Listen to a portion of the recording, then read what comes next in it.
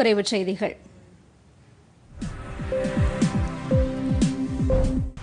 சொத்து குவிப்பு வழக்கில் நான்கு ஆண்டு சிறை தண்டனை முடிந்து சசிகலா பெங்களூரு சிறையிலிருந்து விடுதலை செய்யப்பட்டுள்ளார். இன்று காலை பதினோரு மணிக்கு சசிகலா விடுவிக்கப்பட்டதாக பெங்களூரு பரப்பன அக்ரஹாரா சிறை நிர்வாகம் அதிகாரப்பூர்வமாக அறிவித்துள்ளது. சிறையிலிருந்து விடுதலையான போதிலும் கொரோனா தொற்றுக்கு சிகிச்சை பெற்று வருவதால் சசிகலா குறைந்தது இன்னும் மூன்று நாட்களுக்கு மருத்துவமனையில் தங்கியிருப்பார் என்று பெங்களூரு தகவல்கள் தெரிவிக்கின்றன. உதகமண்டலம் மற்றும் அதன் சுற்றுப்புற பகுதிகளில் கடந்த இரண்டு நாட்களாக கடும் பனிப்பொழிவு நிலவி வருகிறது.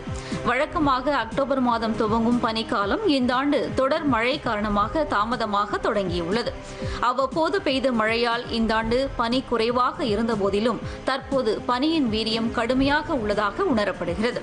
அரசு தாவரவியல் பூங்காவில் அனைவரையும் கவரும் பசுமையான புல்வெளியை பனியிலிருந்து பாதுகாக்க பூங்கா நிர்வாகம் அதிகாலையில் தண்ணீர் பாய்ச்சி வருகிறது.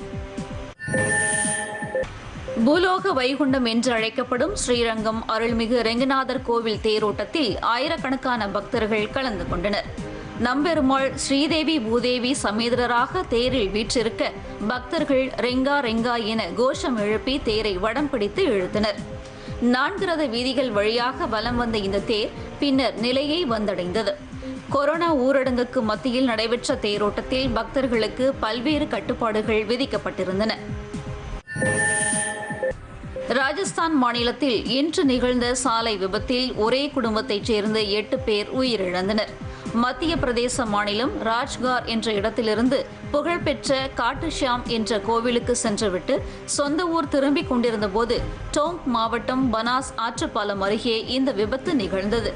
கார் மீது ஒரு டேங்கர் லாரி மோதிய இந்த விபத்தில் காயமடைந்த நான்கு பேர் மருத்துவமனையில் அனுமதிக்கப்பட்டுள்ளனர். பாகிஸ்தான் சிறையிலிருந்து பதினெட்டு ஆண்டுகளுக்கு பிறகு இந்தியாவைச் சேர்ந்த அறுபத்தைந்து வயது ஹசீனா பேகம் என்ற பெண்மணி விடுவிக்கப்பட்டுள்ளார். தனது கணவரின் உறவினர்களை சந்திக்க பாகிஸ்தானுக்கு சென்றுவிட்டு இந்தியா திரும்பும் வழியில் இவர் தனது பாஸ்போர்ட்டை தொலைத்துவிட்டார் இதனால் ஹசீனா பேகம் பாகிஸ்தான் சிறையில் வாடும் சூழல் உருவானது. சொந்த ஊரான அவுரங்காபாத் திரும்பிய ஹசீனா பேகத்திற்கு அங்கு உற்சாக வரவேற்பு அளிக்கப்பட்டது. ஜம்மு காஷ்மீரில் தீவிரவாதிகள் நடத்திய கையெறி குண்டு தாக்குதலில் ராணுவ வீரர்கள் நான்கு பேர் காயமடைந்துள்ளனர். குல்காம் மாவட்டம் ஷாம்ஷிப்பூரா என்ற இடத்தில் ராணுவ வீரர்கள் ரோந்து பணியில் ஈடுபட்டிருந்தபோது இந்த தாக்குதல் நடத்தப்பட்டுள்ளது. மகாராஷ்டிரா மாநிலத்தில் எரவாடா சிறையிலிருந்து அம்மாநில அரசு சிறை சுற்றுலா என்ற புதிய திட்டத்தை தொடங்கியுள்ளது. இத்திட்டத்தை அம்மாநில முதலமைச்சர் உத்தவ் தாக்கரே நேற்று காணொலி வாயிலாக தொடங்கி வைத்தார். அப்போது பேசிய அவர் இந்த எர்வாடா சிறையில்தான் சுதந்திர போராட்ட வீரர்கள் பலர் சிறை வைக்கப்பட்டனர் என்றும் சிறை சுற்றுலா என்ற புதிய திட்டத்தின் மூலம் பள்ளி கல்லூரி மாணவர்கள் இளைஞர்கள் வரலாற்று ஆய்வாளர்கள் பொதுமக்கள் நாட்டின் வரலாற்றை நன்கு அறிந்து கொள்ள உதவியாக இருக்கும் என்று கூறினார். இந்த சிறை நூற்று ஐம்பது ஆண்டுகள் பழமை வாய்ந்தது என்பதும் இங்கு மகாத்மா காந்தி பண்டிட் ஜவஹர்லால் நேரு சர்தார் வல்லபாய் பட்டேல் சுபாஷ் சந்திரபோஸ் உள்ளிட்ட பல்வேறு தலைவர்கள் இந்திய சுதந்திர போராட்டத்தின் போது ஆங்கிலேயர்களால் சிறை வைக்கப்பட்டனர் என்பது குறிப்பிடத்தக்கது. ஒடிசா மாநிலம் புவனேஸ்வரில் ஆண்டுதோறும் நடைபெறும் ஆதிவாசி மேளா எனப்படும் பழங்குடியினர் கண்காட்சி நேற்று தொடங்கியது.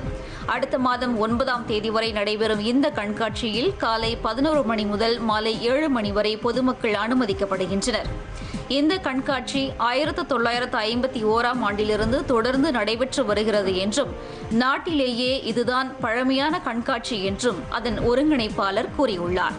ஒடிசா மாநில அரசு பழங்குடியினர் நலனுக்காக பல்வேறு முயற்சிகளை மேற்கொண்டு வருகிறது என்றும் பழங்குடியின மக்களின் வாழ்க்கை முறை படைப்பாற்றல் ஆகியவற்றை வெளிப்படுத்தும் விதமாக இந்த கண்காட்சி நடத்தப்பட்டு வருவதாகவும் அவர் தெரிவித்தார்.